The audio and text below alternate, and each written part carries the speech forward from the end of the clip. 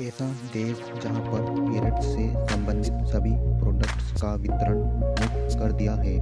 उस देश का नाम स्कॉटलैंड है और सभी उम्र की लड़की या महिलाओं को फ्री में सैनिटाइज पेट मिलेगा। और इस देश में period product cut free provision act को पारित कर दिया है।